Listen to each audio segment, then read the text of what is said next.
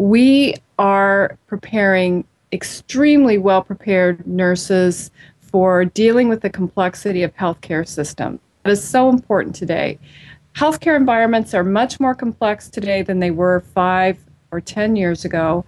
And it's so important that students feel that they are armed with the right skills to move out into that environment and be successful. Our faculty are highly qualified and they promote excellence in teaching, in research, in practice, and service.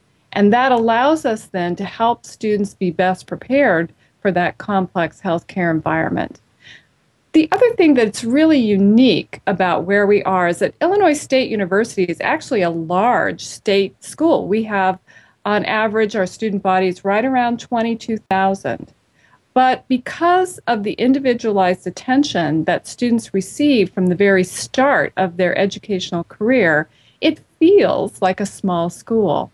The ratio of faculty to students in the College of Nursing is about 8 to 1 in the clinical setting. That means for every eight students, there's one uh, graduate prepared nurse faculty, nurse educator who's supervising and guiding that student through their clinical and classroom experiences.